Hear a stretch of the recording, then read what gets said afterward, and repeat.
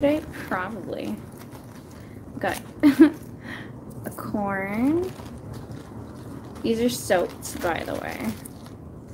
Uh, mangosteen. So cute. Some bananas. And a lovely watermelon. And they smell all smell like amazing.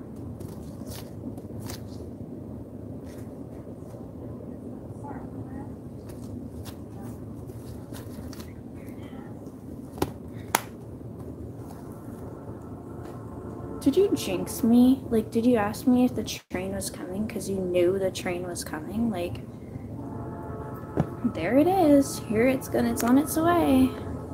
I'm probably not gonna light up my cigarette until the train is gone.